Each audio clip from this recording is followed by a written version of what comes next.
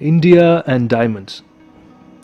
If you ever think of an universal symbol for commitment, love, strength, and beauty, you will think of nothing but diamond. As fascinating as a diamond is to the wearer, it also has an equally fascinating history. Since ancient times, India has been a historical center of diamonds.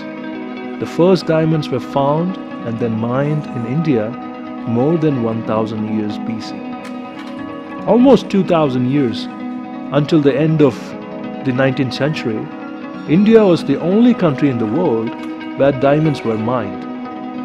Diamond cutting also originated in India, where diamonds were skillfully cut and polished by Indian craftsmen since the beginning of the 16th century.